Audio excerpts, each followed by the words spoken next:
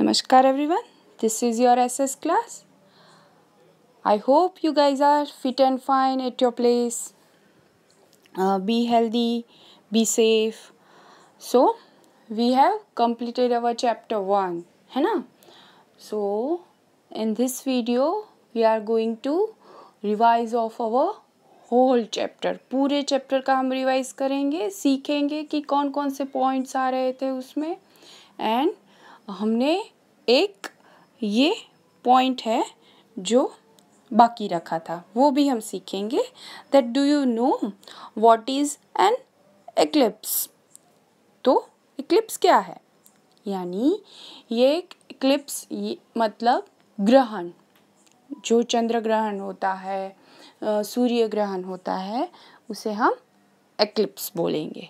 Okay तो eclipse is blocking light of a heavenly body by other heavenly object in the space ये क्या करता है? एक हेवनली बॉडी जो दूसरी हेवनली बॉडी है, उसे क्या करती है? ब्लॉक कर देती है। So generally during the eclipse there is a partial partial loss of light. उस दौरान क्या होता है? वो जो एक ऑब्जेक्ट की लाइट होती है, वो दूसरे को देखने नहीं देती पार्शियली यानी नॉट कंप्लीट वो कंप्लीट नहीं होता, पर वो एक ऑब्जेक्ट को ढक देता है। Okay example in the solar eclipse the sun is obscured by the moon. यानी हमारा जो सोलर एक्लिप्स होता है, उसमें सन क्या करता है? सॉरी सन का क्या होता है? मून उसे पूरा ढक देता है। उससे क्या होता है? हमें उस दिन लाइट नहीं मिलती, वो उसे पूरा ढक देता है। उसे हम क्या बोलेंगे? Eclipse now will revise our chapter see quick review में अगर हम देखेंगे तो यहाँ पे सारे पॉइंट्स हैं, वो हमें बहुत इजीली समझाए हुए हैं। That the universe is huge and endless expansion having groups of millions of galaxies universe क्या है? एक ऐसा एंडलेस विस्तार है पूरा, जो बहुत सारी मिलियंस ऑफ़ गैलेक्सीज से बना हुआ होता है। next point is the sun is a star sun क्या है एक स्टार है it is a huge hot ball of fire है ना सन uh, किससे बना है it is made up of hot burning gases third point is the earth is a planet of the solar system which revolves around the sun in fixed orbit in 365 days and rotates on its axis in 24 hours from west to east. ये भी हमने सीखा था that हमारा earth है, वो solar system के solar system में है है ना? सोलर सिस्टम में बीच में क्या है? हमारा सन और उसके अराउंड हमारी जो अर्थ है, वो उसकी एक्सिस के साथ घूमती है। तो उसे हम क्या बोलेंगे? रिवॉल्यूशन रिवॉल्व करती है यानी घूमती है। तो वो आ, वो फिक्स ऑर्बिट को आ, पूरा करने में हमारी अर्थ कितना टाइम लेती है? It takes three sixty days है ना? और वो हमारी ऑर्बिट पे ही घूमते घूमते उसकी एक्सिस पे भी घूमती है। तो उसे आ, कितना टाइम लगता है? ट्वेंटी फोर आवर्स और वो उसकी ऑर्बिट की सॉरी उसकी एक्सिस की जो रोटेशन की जो डायरेक्शन है वो क्या है? West to east that is why हमारी जो आ, हमारे डे नाइट होते हैं। हमारी जो सन है हमारी अर्थ से हमें क्या होता है? इससे सन उगता हुआ दिखता है और वेस्ट में सेट होता हुआ देखता है। इसी वजह से। Now next point the moon is the only natural satellite of the earth हमारा जो मून है, वो अर्थ का एक लौता नेचुरल सैटेलाइट है और मून के बहुत सारे फेजेस होते हैं, है ना? Next point is the planet science and reflects the sun's light यानी प्लैनेट्स क्यों शाइन होते हैं? क्योंकि हमारे सन से वो रिफ्लेक्ट्स होते हैं, यानी सन की लाइट है, वो रिफ्लेक्ट होती है। That is why planet science यानी प्लैनेट चमकते हैं।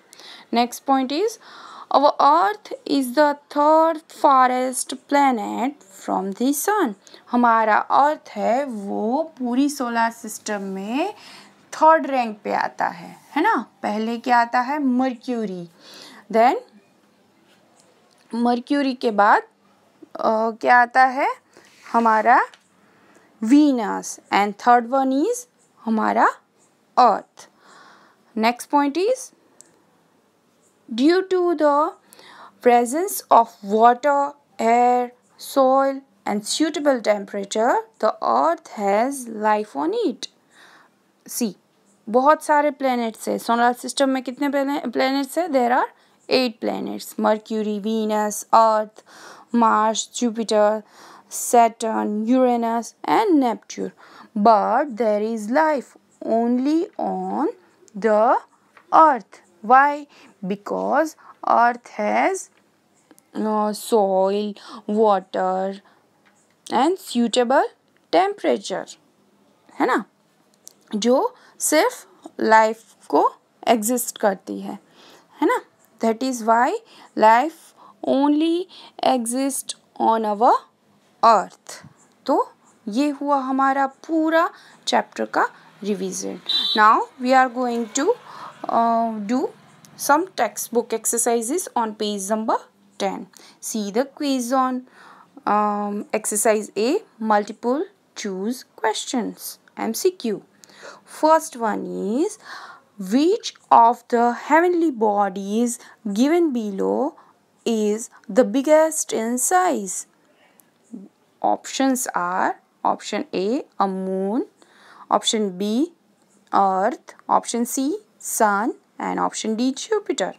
So, which is the biggest heavenly body? Heavenly body जो सबसे big है वो कौन सी है तो of course ये कौन होगा sun sun is a very biggest in size okay second one is what do we call the bright full moon what do we call the bright full moon options are a new moon option b amavasya option c purnima and option d crescent moon तो हम full moon को क्या बोलेंगे it's very easy it's पूर्णिमा है ना? हम full moon को पूर्णिमा बोलते हैं।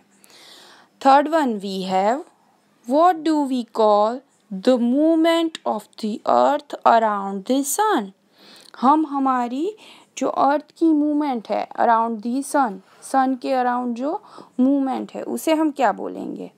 तो option A rotation option B orbit option C, revolution and option D, eclipse. तो हम हमारी जो अर्थ की मूवमेंट है, अराउंड दी सन, उसे हम क्या बोलेंगे? वी कॉल्ड रिवोल्यूशन है ना? The movement of the earth around the sun is called revolution, and the movement of the earth around its own axis is called rotation. Now see the fourth one.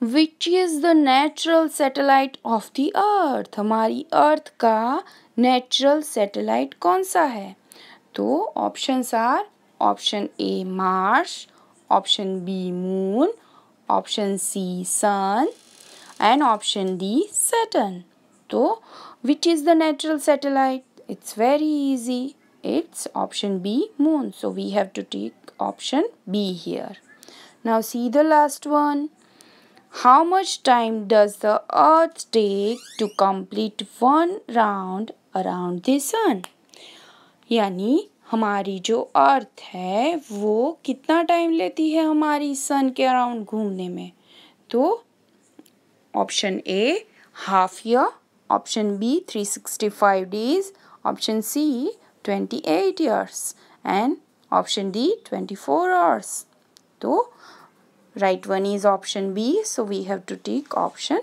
B here so these are the multiple choice question which you have to solve by your own firstly solve by your own आप solve करेंगे खुद से and then you will see the PDF and then you will write okay now see the exercise B, fill in the blanks. First one is, the moon reflects the light of the blank. यानी हमारी जो moon है, वो चमकता है, पर वो किससे रिफ्लेक्ट होता है? लाइट ऑफ़ दी सन है ना? सन से वो रिफ्लेक्ट होता है. So we have to write down sun here see the second one we use we use an instrument call blank to observe the stars हमें अगर अर्थ से स्टार्स देखने हैं तो which instruments we use we use telescope so we have to write down telescope in second blank see the third one the earth is a blank of the solar system earth है, वो solar system का क्या है? It's a planet अब यहाँ पे living planet भी लिख सकते हो और प्लैनेट भी लिख सकते हो okay so the earth is a living planet of the solar system fourth one is the moon revolves around the blank यानी मून है, वो किसके अराउंड घूमता है। किसके अराउंड मोशन करता है। तो it's very easy because moon is the only natural satellite of the earth तो वो अर्थ के अराउंड ही घूमेगा ना so answer is earth the moon revolves around the earth fifth one is blank is the natural satellite of the earth वो भी मैंने बोला आपको कि नेचुरल सैटेलाइट है हमारी अर्थ का इकलौता वो है moon So answer is moon is the natural satellite of the earth. Now see the page number 11 exercise C write true or false against each statement यहाँ पे आपको statements दिए हैं और वो अगर true है तो you have to write down T and if it is false so you have to write down F.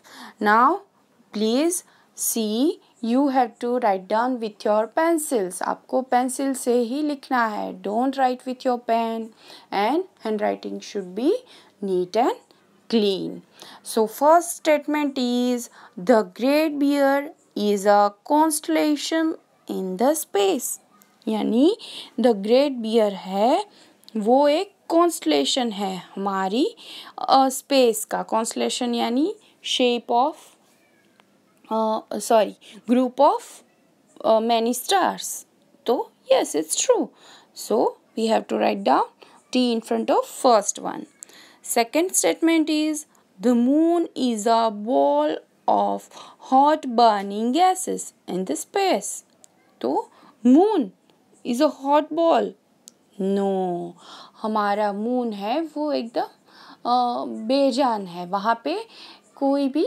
Light नहीं है हीट नहीं है एनर्जी नहीं है so it this statement is false so we have to write down F in front of second one third one is the sun is a star yes because sun has their own light and own heat and own energy that is why it is star so yes it's true we have to write down t here Fourth statement is, the earth rotates from east to west.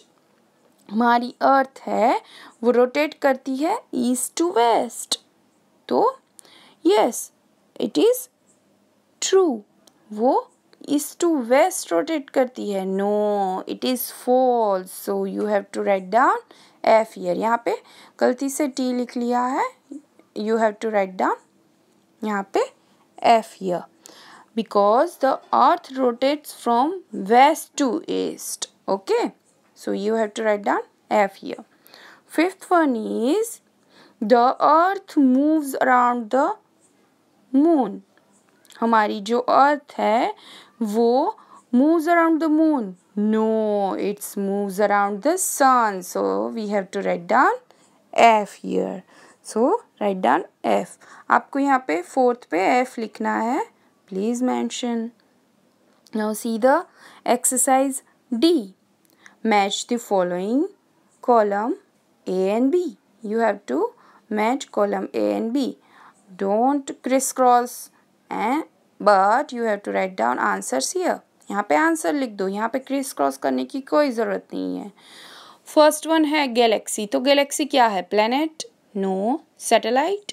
no constellation no star no आकाश गंगा yes fifth one is right so you have to write down v see this is roman uh, uh, digit so roman में इसे fifth बोला जाता है so we have to write down fifth here second one is great bear तो great bear क्या है planet no satellite no constellation. Yes, so Great Bear is a constellation. We have to write down 3 here. Now sun. So sun is a planet. No. Satellite. No. Constellation aa gaya. Star. Yes, the moon is a star. So we have to write down fourth in front of third one. See the fourth one. Moon. So moon is a planet. No, it's satellite. Yes. So we have to write down second in front of fourth one. Last one is Saturn. So Saturn is a planet. The only option we have, so we have to write down first in front of fifth one. Now see, read the given uh, clue and solve the crossword puzzle in exercise E. We have a crossword puzzle and we have clues down clues and across clues down यानी जो यहाँ से down होते हैं वो clues और across यानी जो क्रॉस होते हैं, वो क्लूज ओके तो फ़र्स्ट वन है, जो कि डाउन में है मॉडल ऑफ़ द अर्थ तो फ़र्स्ट में हमें जी दिया हुआ है तो it is very easy model of the earth is a globe so G L O B E फिर डाउन में हम देखें second one first man on moon तो मून में फ़र्स्ट मैन गया था. कौन गया था?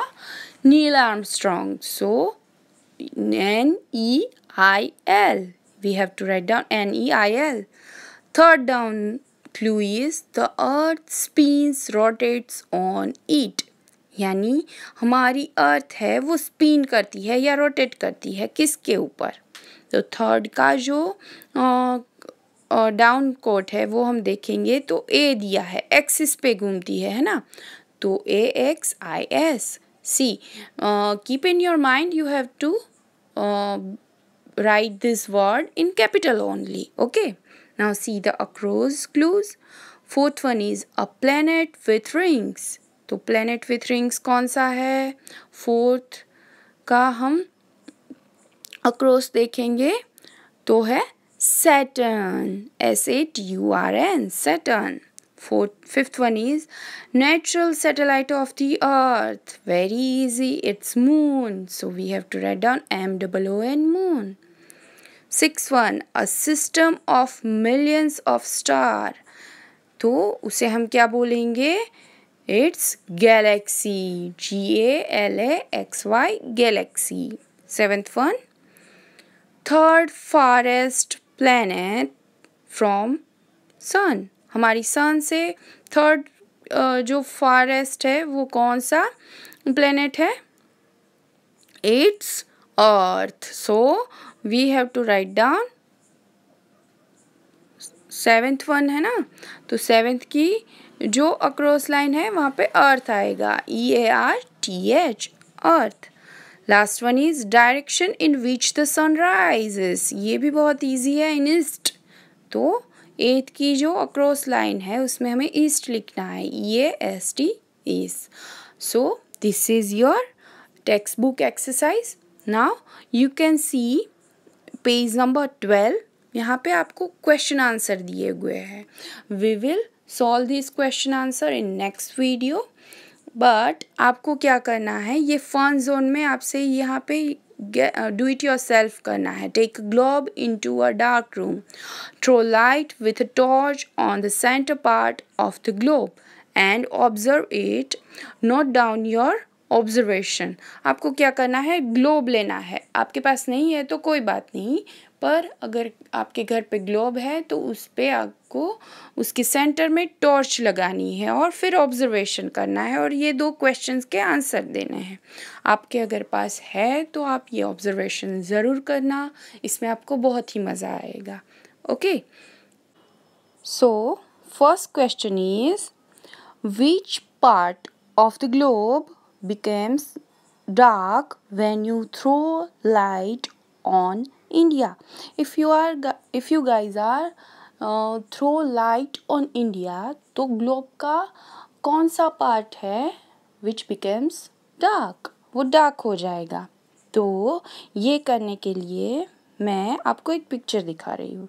देखो ये जैसे ग्लोब है। यहाँ से आप उसे यहाँ ऐसे सोच लो कि आ, इंडिया है।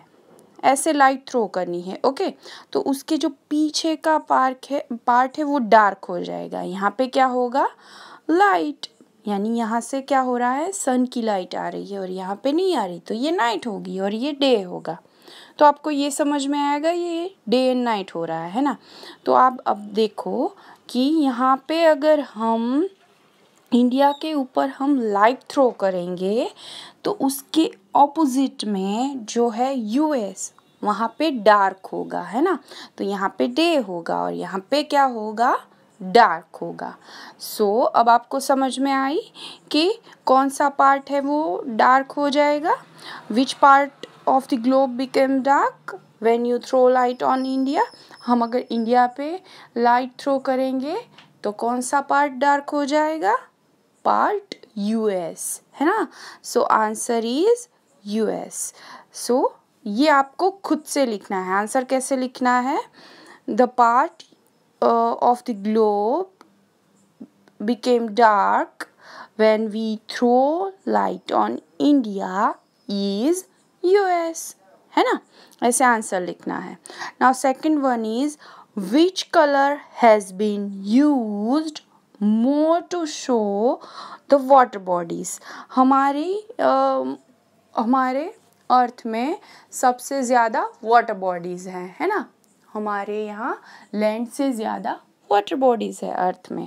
तो which colour has been use more कौन सा कलर है वो सबसे ज़्यादा यूज़ हुआ है वाटर बॉडीज़ को दिखाने के लिए?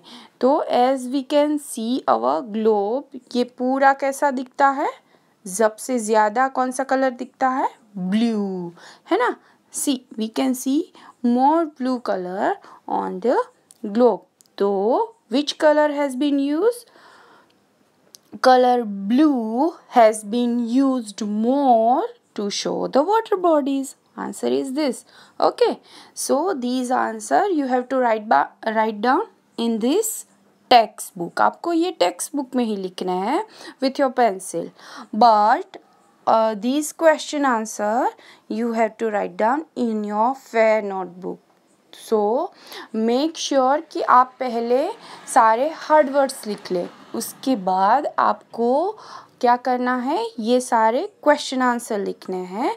We will learn this question answer and write this question answer in next video so till then uh, take care be safe stay home and stay healthy